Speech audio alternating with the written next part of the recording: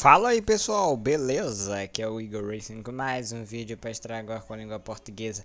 E hoje não é Corvette, é mais um Muscle Car que eu vou apresentar aqui para vocês. Vou pegar aqui ao vivo, para vocês verem qual é o carro. É um carro que é muito ruim e eu vou pegar só para ver como é essa, esse cocô Porque ele foi estragado pela série, pela, na série. Em todos os outros jogos ele é um ele é perfeito, cara. Ele tem uma aceleração forte. Eu acho que vocês já sabem qual é o carro. Deixa eu nele aqui. Aqui está ele. Essa coisa aqui. Essa coisa ruim. Que tá feio com esse kit aerodinâmico. Vamos lá, alugar esse coisa. Eu vou deixar aí na, na aí em cima o código para pegá-lo que foi disponibilizado pela EA Games para nós testar essa coisa ruim. Vamos lá ver. SRT Spec. Bom, o ronco é de todos os Need for Speed. É, tem uma aceleração fortinha.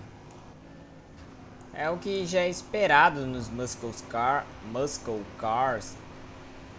Nossa, que, que travada tosca agora, viu?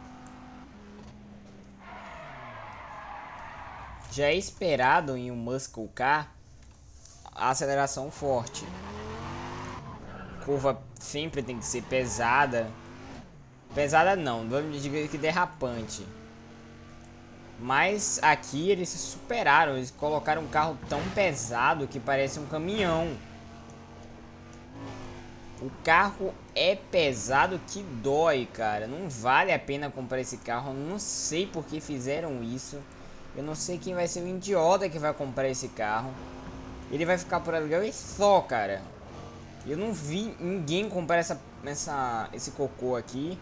Porque ele não vale a pena, cara. O preço que você pagaria nele, você compraria um carro, sei lá, um Aventador, uma, uma, uma Jira. Não sei nem quanto tá o, o preço desse carro. Eu só sei que você paga um carro bem melhor uma BMW 3.0, duas BMW 3.0, que é mil vezes melhor do que esse cocô aqui. Vamos lá testar ele em corrida.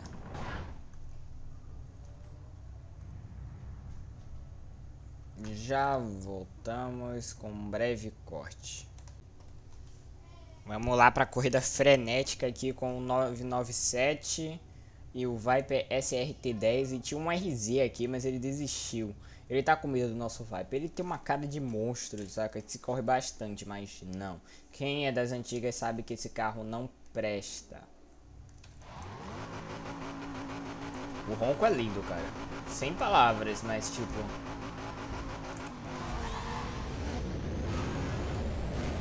Olha, olha isso, pra que o cara fez isso em mim, mano?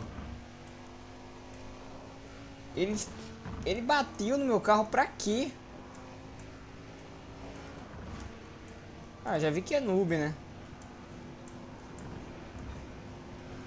Ah, olha isso, não conseguem fazer nem essa curva. Fala sério, cara. Esse carro não presta. Pra que fizeram uma spec dele, eu não sei. Tipo, ele, esse carro tá aqui. A gente tem que fazer alguma coisa com ele. Então foi isso. Fizeram uma spec, colocaram um preço absurdo nele. Que ninguém vai pagar. Ninguém compra desde que esse carro lançou. Ninguém comprou ele. A EA tá me decepcionando, porque agora vai vir um Ford GT aí. Por que o Ford GT eu não sei, porque ele é outro cocô. Ainda vem esse filho da mãe aqui me espancar.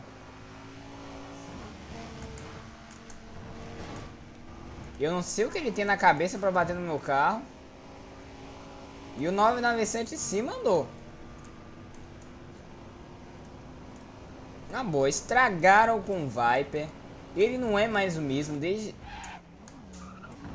desde um, um Undercover, ele não é mais aquele monstro que ele era no Need for Speed Carbon e no Pro Street. No Pro Street o carro era um dos melhores carros lá de de, de autoestrada. O carro chegava a 404. O Carbon era o melhor carro para você se pegar no preço dele. O carro era um monstro valia muito a pena. Mas no Need for Speed World ele é um cocô, um baita de um cocô cagado. Sabe aquele cocô que sai assim É, pois é, esse é um cocô. Então, galera, esse foi o vídeo de hoje. Eu vou te dar minhas notas aqui pra esse cocô cagado da, do caguinho cagoso. Eu vou dar aceleração, eu dou 7. Curva, eu dou 4. É... Nitro, eu não testei, mas vi que era uma porcaria. Eu dou 5. 5 mesmo, 5. Acelera é, largada, dou 5, porque nem a 200 ele chegou. Custo-benefício, 2. Porque não vale a pena pagar o preço desse carro. Você compra até um MR2 de. Um MR2, até um Siroco vale mais a pena do que esse aqui. Tô brincando, Siroco não. Sim, mas tipo, vale mais a pena comprar outro tipo de carro do que esse cocô, né?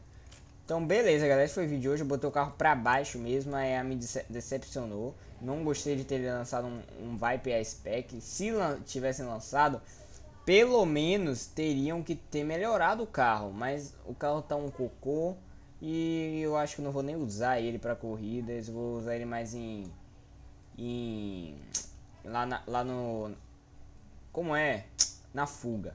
Ele eu acho que só vale a pena comprar para fuga e só.